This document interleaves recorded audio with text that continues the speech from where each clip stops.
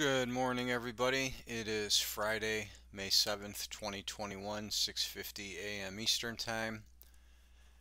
Today we're going to look at the pH indicator on the euro contract, euro futures.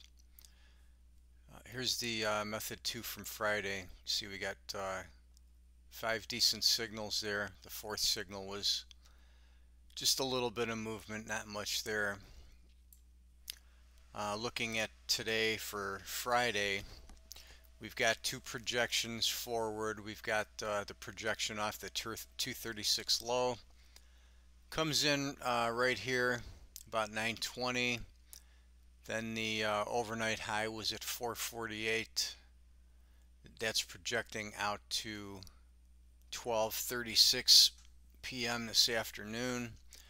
And then we've got the five uh, method two indicators.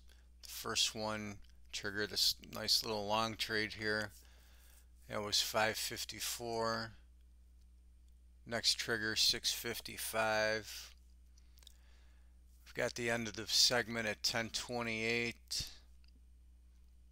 Then in the afternoon we've got 204, actually a bracket between 2 o'clock and about 210 and then the last one is coming in about 310 this afternoon.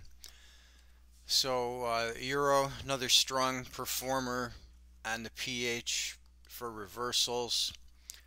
Uh, that's it for today. We'll be back again tomorrow with another video. We will see you then.